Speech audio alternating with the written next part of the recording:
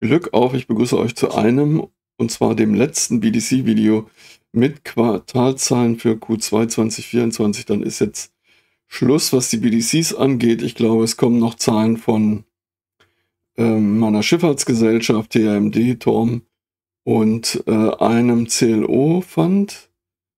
Da könnte ich noch Videos drüber machen oder werde ich bestimmt auch noch. Äh, aber mit den BDCs sind wir jetzt einmal durch. War, würde ich sagen, so gemischtes Quartal gar nicht schlecht, aber auch nicht so super gut. Ähm, und das endet jetzt aber ein bisschen auf einer persönlichen Note, würde ich mal denken, hier mit Crescent oder wie man auch kurz sagen kann, CCAP. Ähm, denn das ist das Börsenkürzel von diesem BDC.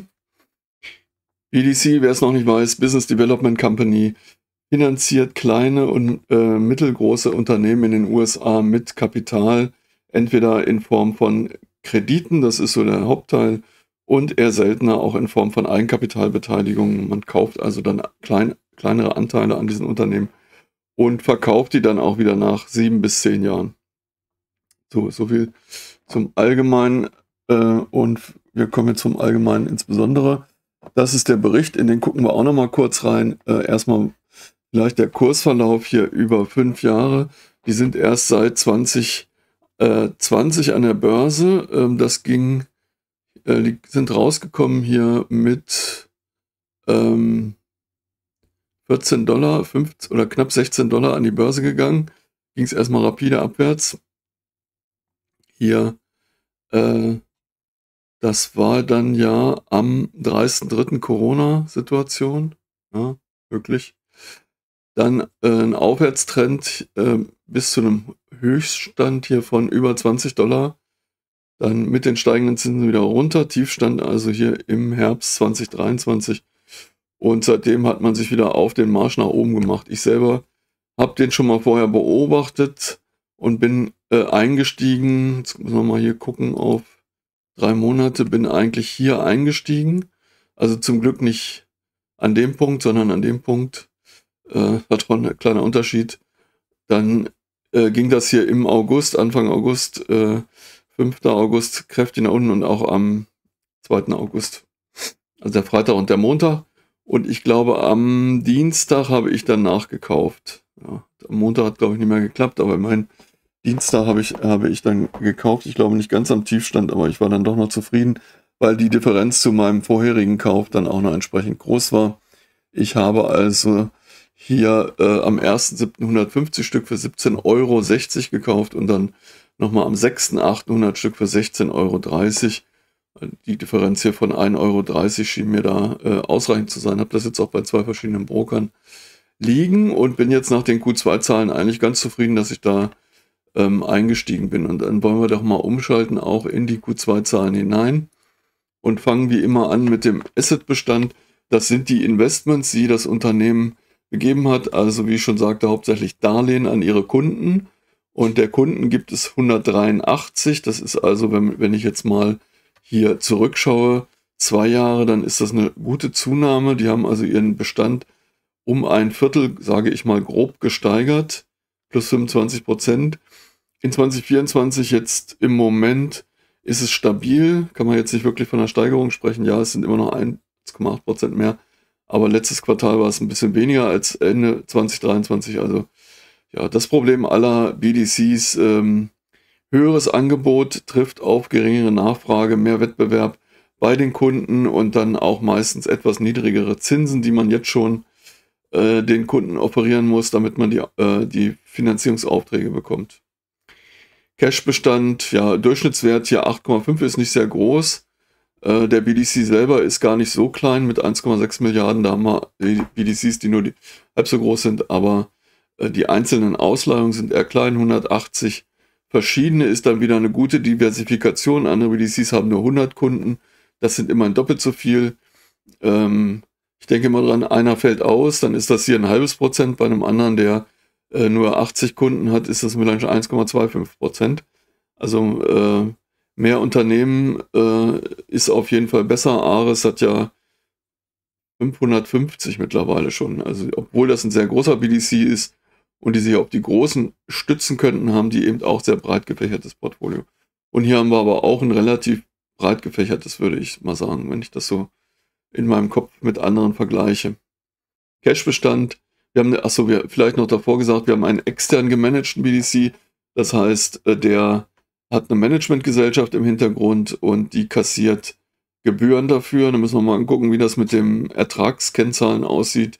Grundsätzlich sind extern gemanagte an der Börse unbeliebter oder man kann es auch positiv sagen, sie sind preiswerter zu haben als die intern äh, gemanagten, produzieren aber meistens auch weniger Erträge.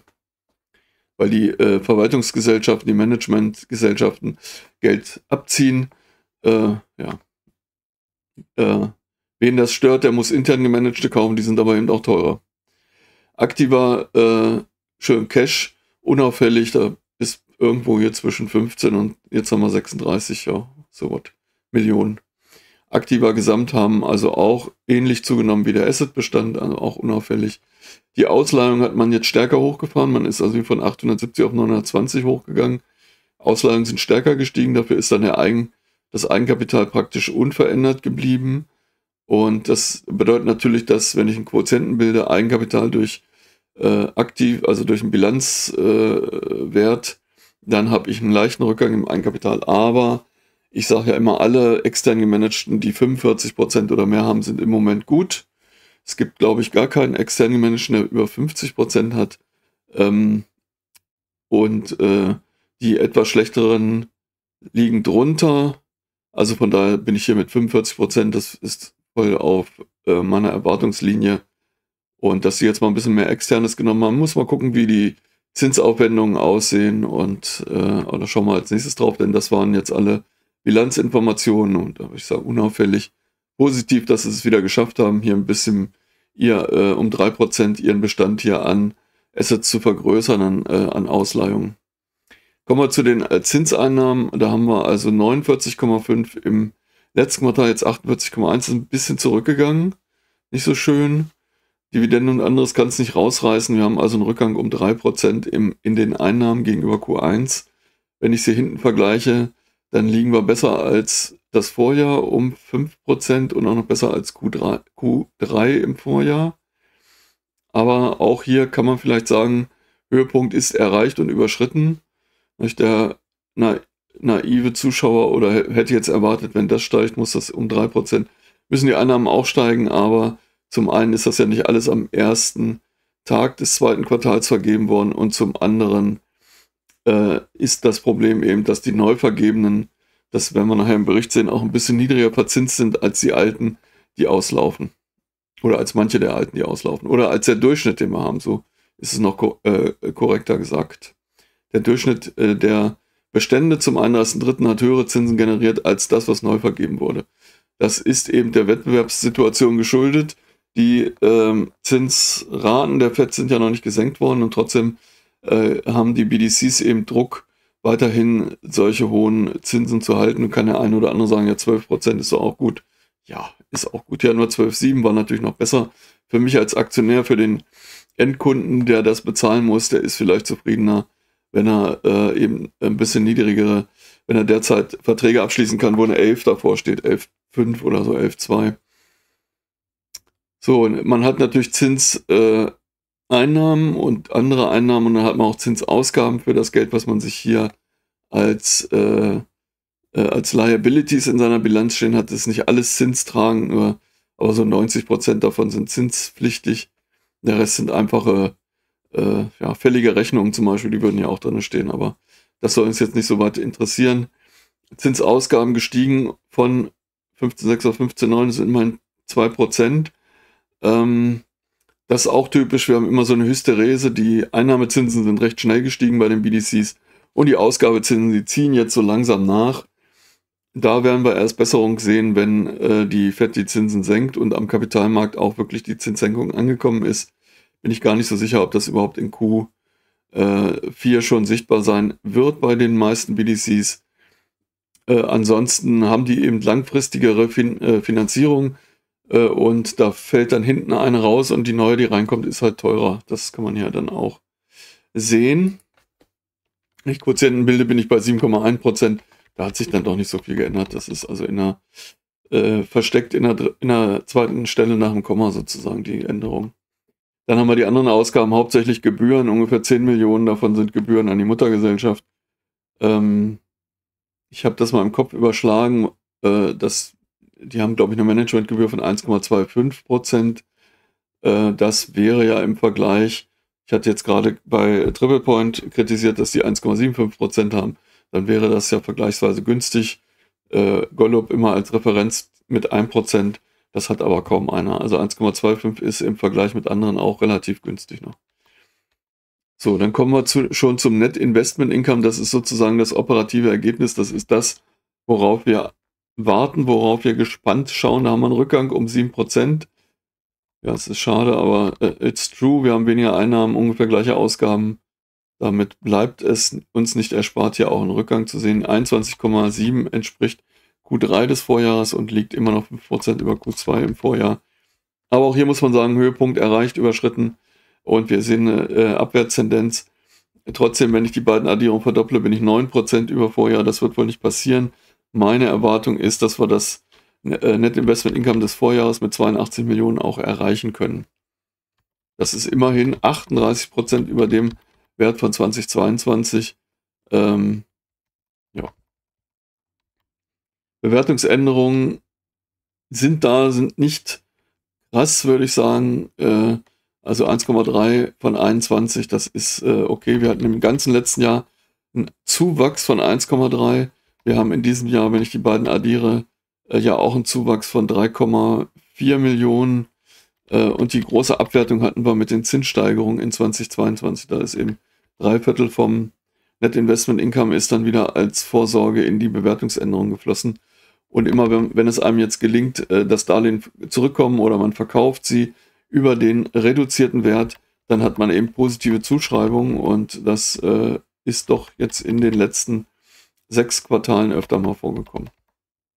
Fünf Quartale, das sechste ist ausgeblendet. Aber nicht immer, wie man jetzt sieht. Ja, dann haben wir einen Gewinn, der jetzt ein bisschen unter dem Investment Income liegt, der liegt aber oft auch drüber. Ähm, 28 und 20 sind 48 mal 2 sind 96, läge über dem Vorjahresergebnis. Ja, auch hier wäre ich zufrieden, wenn wir einen Gewinn hätten wie im Vorjahr. Äh, man muss das jetzt ein bisschen in Relation mit der Dividende sehen, da kommen wir aber gleich da, dazu. Aktienbestand ist praktisch unverändert. Äh, wir haben jetzt in dem letzten Jahr hier auch keine Änderung. Wir hatten in Q1 letzten Jahres eine, einen Zuwachs um gut 20 Prozent neue Aktien rausgegeben. Und seitdem hat sich also am Aktienbestand nichts geändert. Oder nur so im Nachkommabereich. Hier ist so wirklich gar keine Änderung zu sehen. Nee. Keine Änderung. Dann haben wir also beim Mittelwert logischerweise auch keine Änderung. Der Kurs ist ja nach oben gezogen, hier vor einem Jahr 15 Dollar, dann über 17 auf die 18 hoch und jetzt sind wir wieder bei 16 Dollar ähm, oder bei 17 Dollar irgendwas, glaube ich, sind wir jetzt wieder angekommen. Hab's ja gerade angeguckt, konnte es mir aber nicht merken. Äh, da haben wir es 17,98, also wir haben jetzt schon wieder einen Anstieg. Tiefpunkt waren bei 17,50 Dollar. Und das ist wieder ein BDC, wo ich jetzt gerne mal nochmal, äh, Entschuldigung, nochmal einen Rücksetzer sehen würde. Würde mich freuen, dann würde ich da auch nochmal nachkaufen. Ähm, ja, die 1750 oder jetzt 1798 wäre ja von den Quartalzahlen, die hier sind, auch schon wieder die zweithöchste sozusagen. Das, ja. Ähm, wir gucken dann auf den Buchwert. 20,30 Dollar. Der Buchwert ist leicht gestiegen, trotz der Bewertungskorrekturen, die wir haben. Das zeigt also schon, ähm, wir haben eine moderate Dividende die hier bezahlt wird und die trotzdem nicht schlecht ist. Ähm, und wir haben noch etwas, diese, diese Kurse, die ich irgendwie vermeintlich für hoch äh, halte, sind immer noch unter dem Buchwert. Also wir haben einen Buchwert von über 20 Dollar und hatten hier Kurse, die 2 Dollar 50 und mehr drunter lagen. Ja, auch über 2,50 Dollar. Also hier sogar 4 Dollar Abstand zum Buchwert, 6 Dollar. Also ähm, die Börse hat zunehmend diesen BDC wohlwollend betrachtet und hat diesen, dieses Loch zwischen Börsenpreis und Buchwert jetzt so nach und nach geschlossen. Trotzdem immer noch ein negativer Abstand an der Börse. Sollte man beachten. Gewinn pro Aktie 55 Cent, Net Investment Income 59 Cent. Äh, ja, es war letzte, letztes Quartal etwas besser. Die 59 haben wir hier in Q3, letztes Jahr aber auch gesehen, letztes Jahr also 2,30 Dollar. Ich würde fast sagen, dass wenn wir dieses äh, Jahr vielleicht auch so 2,25 werden wir auch auf jeden Fall auch sehen im äh, Net Investment Income. Und beim Gewinn es ist immer schwer vorhersehbar, was noch passiert äh, in der Wirtschaft in den nächsten beiden Quartalen. Gibt es noch eine Notwendigkeit für Abwertungen oder läuft das jetzt alles so durch? Keine Ahnung. Der Gewinn ist schwerer vorhersehbar als das Net Investment Income. Das kann man immer schon so ein bisschen äh, vorab schätzen. Ähm, die Dividende betrug also letztes Quartal 51 Cent und das waren äh, 41 Cent plus Sonderdividende von 10 Cent. Dann hat man die Sonderdividende um 1 Cent erhöht, ist auf 52 gegangen. Man hat jetzt die Basisdividende um 1 Cent erhöht auf 42 Cent. Äh, die wird, wird aber erst in Q4 bezahlt. Also man hat einen sehr langen Zeitraum mit der Dividendenzahlung, die man jetzt mit den Q2-Zahlen festgelegt hat, wird ausbezahlt erst in Q4. Ähm, und dann gibt es eine Sonderdividende von 9 Cent, die wird schon in Q3 ausbezahlt. Die, äh, also diese beiden Dividenden ein, hier auch 41 und 11, die liegen auseinander. Man hat an zwei Zahlungstermine sozusagen. Gut, aber was sagt mir das? Wir haben hier Net Investment Income von 59 hatten wir 60 und haben also Dividenden, die äh, die Basisdividende liegt ja sogar, ähm, ich rechne jetzt mal kurz im Kopf, 30 Prozent unter der Sonderdividende. Und äh, diese Sonderdividende bemisst sich, da haben sie eine Rechenformel, 50 Prozent aus dem, was im Vorquartal nicht ausgeschüttet wurde, ähm, also sozusagen ein Spillover und davon wird die Hälfte dann als Sonderdividende ausgekehrt, abgerundet, aufgerundet auf einen Cent, whatever. Ähm, also sie machen das nach einer Formel sozusagen und ähm, ich habe hier ja einen, äh, einen Gewinn von 55 und selbst der Gewinn liegt noch über der Dividende. Das haben wir längst nicht bei jedem BDC und das führt natürlich auch zu diesem Anstieg äh, im äh, Buchwert, den wir hier ja auch sehen können von 2028 auf 2030 wenn ich diese Dividende jetzt äh, genau in Abhängigkeit zum Gewinn, dann haben wir eigentlich hier in den letzten sechs Quartalen ähm, immer den Fall gehabt, dass der Gewinn über der Dividende lag. Net Investment Income sogar äh, für ein BDC extrem niedrig zwischen knapp 90 jetzt und 67 war hier auch mal dabei, 70 Prozent. Das ist auch schon sehr konservativ, so in Richtung ARES sozusagen äh, gemessen am Net Investment Income. Äh, aber hier hatten wir natürlich auch mal eine Situation, wo der Gewinn aufgrund dieser Sonderabschreibung nur bei 50 Cent lag und man im ganzen Jahr äh, 1,80 Dollar Dividende ausgezahlt hat. Das war schon so, dass da wenig Spillover vorhanden gewesen ist. Dann hat man auch im nächsten Quartal hier, nächsten zwei Quartalen wohl keine Sonderdividenden bezahlt. Ja, und hier ist auch nur eine vorgekommen.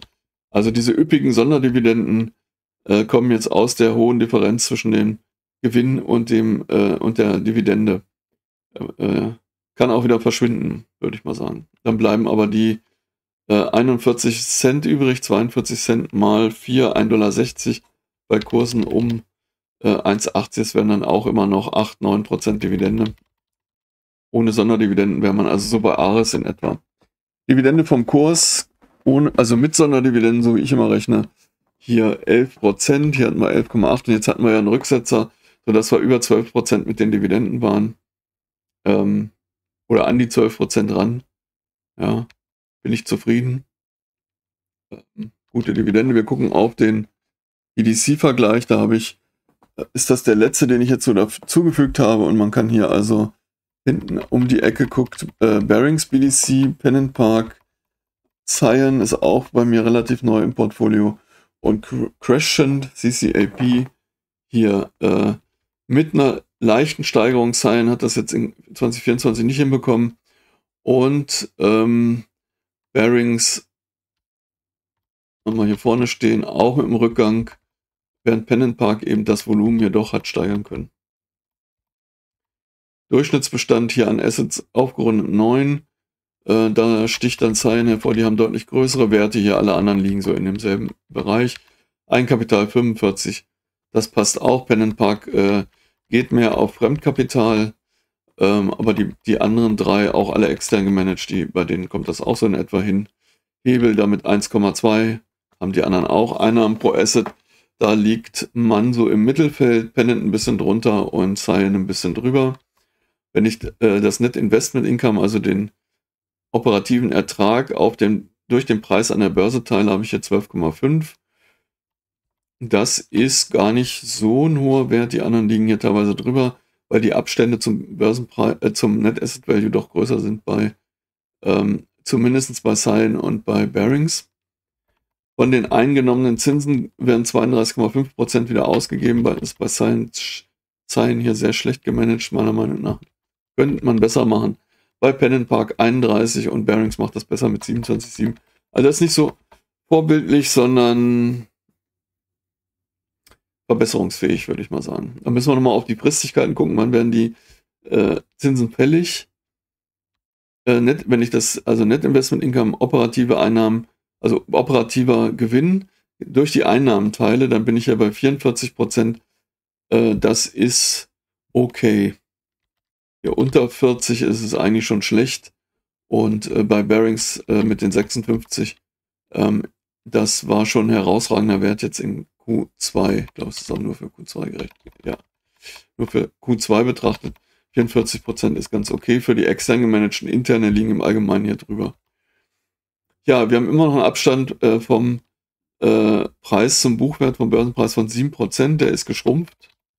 Wir haben bei Cyan einen höheren Abstand, würde ich sagen, auch zu Recht, weil die äh, Ertragssituation schlechter ist. Wir haben bei Pen Park sind wir auf Linie und ähm, bei B BBDC haben wir auch noch einen Abstand von 14%. Meiner Meinung nach ist das zu viel, aber es hängt auch ein bisschen mit der Dividendenpolitik zusammen, die ist sehr restriktiv. Das äh, erzeugt nicht so viel Interesse und äh, Pen Park hat eine sehr aggressive Dividendenpolitik, das freut den Pensionär, sage ich jetzt mal. Es ist alles so eine Mischung aus verschiedenen Faktoren, die man da Man muss für sich selber halt dann entscheiden, was ist mir wichtig. Sicherheit, gute Dividende, etwas mehr Risiko oder nicht. Das ist so eine Mischung, die man sich da zusammensuchen muss. Deswegen am besten mehrere BDCs haben. Ja, Dividendenrendite hat man ja 11,1%. Das ist so im Rückschau gar nicht, gar nicht schlecht für äh, CCAP äh, Cyan durch die günstigen Preise liegt da deutlich drüber. Äh, Pen Park liegt auch nur bei 11,1, macht halt monatliche Ausschüttung. Und äh, äh, Bearings liegt ein bisschen zurück mit 10,7. Ich würde mir da auch mal eine kleine Dividendenerhöhung äh, bei Bearings mal wünschen. Die sind also wirklich sehr zurückhaltend. Äh, Dividende 2,06 Dollar. Äh, das hatten wir schon gesehen. Die Steigerung eben hier jetzt 19 Prozent. In 2024 wird man das durchhalten können mit diesen hohen Sonderzahlungen. Ich denke mal nicht. Es wird auch wieder ein bisschen runtergehen in 2025. Hätte man 1000 Dollar investiert, hätte man nur 57 Aktien bekommen am 1.1. Hätte man jetzt 1080 draus gemacht, hätte nochmal 60 Dollar, hätte man 140 verdient. Das ist gut. Kein Spitzenwert, aber ein guter Wert. Und wenn man das über drei Jahre, dreieinhalb Jahre gemacht hätte, hätte man 700 Dollar verdient. Das verdient schon Respekt. Ja, bei Pennant wären es 1900 gewesen. Aber das war eben eine Sondersituation, weil die Aktie so schlecht bewertet war Anfang 2021 äh, oder genauer gesagt am 1.10.2020. Äh, da wirkte noch ein bisschen die Corona-Krise mit Dividendenkürzungen und so weiter und da hätte man sich vielleicht auch nicht getraut, dann da überhaupt reinzugehen. Also ähm, ich würde sagen, so insgesamt ein sehr guter Wert hier, wenn man dreieinhalb Jahre investiert gewesen wäre. Ähm, jetzt schauen wir nochmal insbesondere auf die äh, aktuelle Situation und die Schulden. Was da die Fälligkeiten angeht, hier sieht man also, ähm, wenn man 1000 Dollar äh, zu Anfang angelegt hätte, dann hätte man jetzt 1600 hier draus gemacht, sagen die Q215. Waren die aber meiner Meinung nach noch gar nicht an der Börse. Ähm, und in der Zeit haben sie also 33 Dollar ausgeschüttet ja, nützt mir nichts. Ich hätte es ja nicht gekriegt. Ich wollte nochmal auf die, hier ist es nochmal 42 Cent, äh, ist nun die Dividende, die wird am 15.10. ausbezahlt. Und dann gibt es eben noch eine Sonderdividende von 9 Cent, die wird im Sep am 16. September bezahlt. Die fällt also noch in Q3. Und die andere kommt erst in Q4. Ähm, das haben wir im Prinzip schon gesehen. Ich wollte noch mal ein bisschen auf die Neuvergabe von Krediten gucken.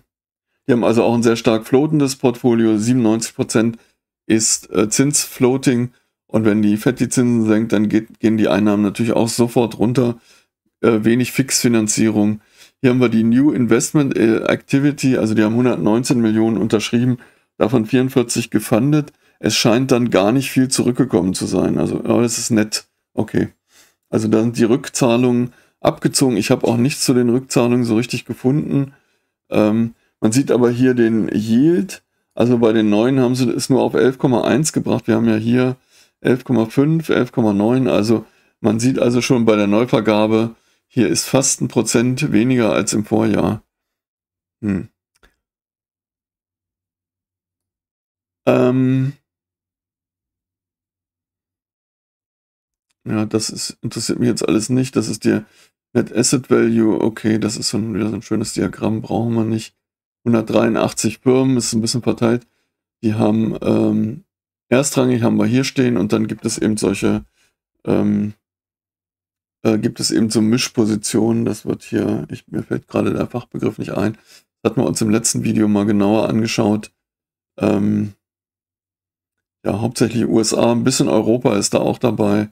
Ja, hier haben wir das Unitrench. Ja, das ist eine Mischung aus Erst- und zweitrangigen Darlehen und hat einen besonders einfachen Unterschriftsprozess. Der Kunde muss nicht einmal erstrangig aufnehmen und dann nochmal irgendwo rumlaufen und hat dann Schwierigkeiten, eine Zweitrangfinanzierung zu bekommen, sondern das bietet CCAP mit einem Satz von äh, Dokumenten aus einer Hand an. Das ist so ein bisschen äh, ihre, ihre Stärke sozusagen. Da haben sie dann auch einen relativ großen Anteil. Ähm, wie gut das funktioniert, wird man dann sehen, wenn es zu Pendungen kommt. Äh, natürlich haben die das auch durch äh, äh, ihre äh, Anwälte prüfen lassen, aber was heißt das schon? Ja, hier sieht man das ein bisschen. Der, äh, der Zins oder der Yield auf die, also alle, alle Einnahmen auf die Assets ist ein bisschen rückläufig auf dem Bestand, während die Zinsen, das Gelbe hier, das steigt so ein bisschen an, das quetscht hier den Ertrag äh, zusammen. Das wird auch ein Thema in 2025 bei allen BDCs sein. Ähm, hier geht es nochmal um die Ratings, also schlechte, schlecht geratet 4 und 5. Das äh, sind wir im Bereich von 1%. Das ist ein gutes Portfolio hier nach ihrer eigenen Metrik. Dann gucken wir mal auf die Kapitalstruktur und das gefällt mir eigentlich ganz gut. 2024 ist nichts fällig, 2025 ist auch nichts fällig und die ersten Fälligkeiten haben wir erst in 2026. Die müssen sich also nicht mit Refinanzierung unter Zeitdruck herumschlagen, sondern können das in aller Ruhe angehen lassen und äh, dann haben sie auch wieder zwei Jahre, wo nichts fällig wird und dann erst 2029. Das ist eigentlich gut gemischt. Hier nach ihrer eigenen Zinsberechnung sind sie bei knapp unter 7% im Moment. Wir haben hier unbesicherte Notes, äh, haben hier auch so ein äh, Revolver-Facilität, äh, SOFR plus 2,45, das sind also ungefähr 7,5% und hier haben sie noch so einen anderen Corporate Revolving und bei beiden haben sie auch noch äh, Möglichkeiten insgesamt hier über 200 äh, Millionen rauszuziehen, wenn sie sie denn brauchen würden. Werden natürlich solche Notes, die gibt man einmal raus und dann stehen die an der Börse. Die haben dafür den Vorteil, dass wir hier nur eine äh, Finanzier äh, Zins, Zinsen von 4 und 5 Prozent haben. Die 7,5 sind auch schon ein bisschen neuerer, die kommen aus 2023. Und da sieht man, dass die Zinsen höher sind. Wenn man jetzt Notes begibt, äh, liegt man mit Sicherheit auch im Bereich 7,5. Ähm, das wird man wohl auch erst 2025 machen, wenn wieder äh, äh, wenn es vielleicht auch mal ein bisschen gesunkenere Zinsen gibt. Also für mich ein schöner BDC, ein guter BDC, ähm, der ein bisschen, äh, der eine gute Ausschüttung liefert und trotzdem man das Gefühl hat, hier wird nicht auf den letzten Knopf äh, der ganze Gewinn ausgeschüttet. Ähm, ich wüsste, also das finde ich, ein, ein, schönes Ende ähm, äh, aus dieser ganzen BDC-Reihe äh, hier nochmal auf so einem auf so einem positiven Ergebnis sozusagen hier zu enden bin ich sehr zufrieden mit. Ist auch ein Wert, wo ich äh, sagen würde, da würde ich gerne nochmal 100 Stück dazu nehmen.